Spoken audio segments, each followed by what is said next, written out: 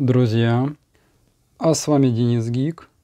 А сегодня у меня на обзоре народный, наверное, один из самых лучших паяльников, которые в себе сочетают очень компактные размеры и параметры, которые ничем не уступают паяльнику на жалах T12. Это модель SH72 с питанием от 12 до 24. А что интересно, вот эта вот маркировка DC 55 на 25 это обозначение штекера, который подходит к этому паяльнику. У нас в местных магазинах радио его знают как э, этот типаж штекера называется под толстый внутренний диаметр и под тонкий внутренний диаметр. Я его уже успел запаять на провод. Ну а теперь перейдем к комплектации. Вы знаете эту почту, она не любит, чтобы посылки приходили в целости и сохранности, потому и коробку досталось. Как мы видим с описания, у нас внутри коробки присутствует значит, э, сама рукоятка паяльника с гайкой, э, жало, и именно жало SH72 Soldering Iron. Как вы видите, в длину оно сильно отличается от стандартного жала T12. Кстати, обращайте внимание на маркировки жал. На подделках обычно они отсутствуют. А у меня присутствует аж SHK тип S35. Также у нас присутствует инструкция на английском и китайском языке. В инструкции помимо основных параметров также присутствует еще э, табличка, в которой указаны рабочее напряжение и, соответственно, мощность, которую он будет выдавать при определенном рабочем напряжении и потреблять ток. Если вы хотите, чтобы у вас паяльник мгновенно практически нагревался и использовал всю свою мощь и силу, э, вам потребуется блок питания 24 вольт. В этом случае блок питания мне не потребуется, потому что моя задумка использовать его от аккумуляторных сборок, например 3S, 4S, либо же 6S. Это может быть сборка на 18650 аккумуляторах, как, например, вот доделана у меня к компрессору. Либо же можно использовать вместе с литий-полимерными аккумуляторами, которые, например, я использую в радиоуправляемых моделях. А зимой, конечно же, они уже будут не использоваться, будут лежать на хранении, потому я найду, куда их применить. Все, что нам потребуется, так это допаять обратный разъем на вторую сторону нашего кабеля, который будет питать паяльник. И именно таким образом мы не будем привязаны к блоку питания и розетки. И паяльник станет у нас прям полностью портативным. Это еще один плюс этого маленького паяльника перед вот такой вот даже паяльной станцией на Т12 жалок. Она в таком габаритном коробке и питается от сети. Хотя ее можно запитать от аккумулятора, но это уже будет немножечко не то. Ну что ж, давайте подключим паяльник. Но прежде чем с ним работать, я бы рекомендовал сделать одну хитрость. Это поставить световод на светодиод, который уже присутствует. Это светодиод у нас активности.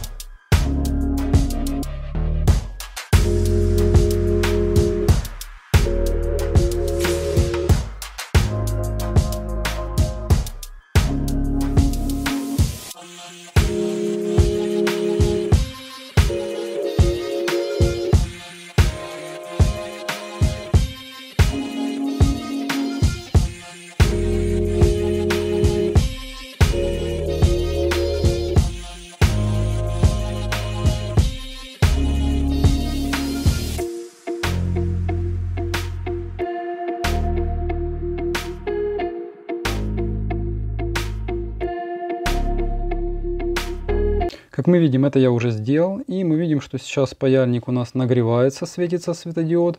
А, моргает, это он уже означает то, что а, близится к концу. И когда перестает моргать, это уже означает, что окончательно отключается нагрев. То есть он уже нагрелся. И также мы видим все по графику. Значит, у меня 17 вольт. Мы видим первый импульс. Это у нас пошел нагрев. И дальше уже ток упал до конца практически. И время от времени подкидывает э, по чуть-чуть ток, догревая паяльник до нужной температуры. По поводу температуры, э, в принципе пишут, что есть небольшой разброс. Ставим, допустим, 250 градусов и смотрим, как кушает олово припой. В принципе, хорошо. Теперь ставим 350 градусов и пробуем отпаять что-то с платы давно уже почившего блока питания. Например, вот этот вот конденсатор. Оп.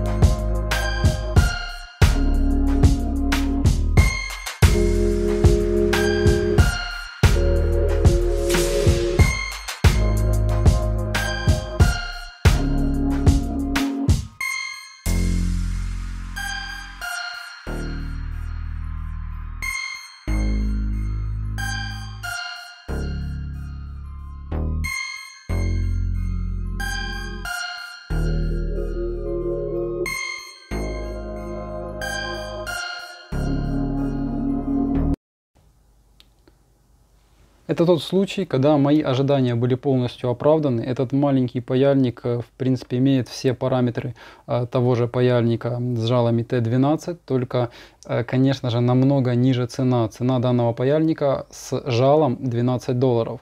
То есть жало, допустим, стоит там 2,5-3 доллара, сам паяльник выходит вам, грубо говоря, 9 долларов. Это отличнейший вариант с регулировкой температуры, нет ничего лишнего. Он хорошо сидит в руке. Э, достаточно неплохого блока питания к нему и аккумулятора, который будет соответствовать параметрам, которые у нас указаны в инструкции, чтобы выдавать соответствующую мощность, и он вам будет служить. И, друзья, это один из тех товаров, которые я бы на 100% мог бы рекомендовать. Ссылочки будут под видео в описании. Всем спасибо за внимание, а с вами был Денис Гик. Пока-пока. Э, не забывайте ставить лайки и подписываться на мой канал.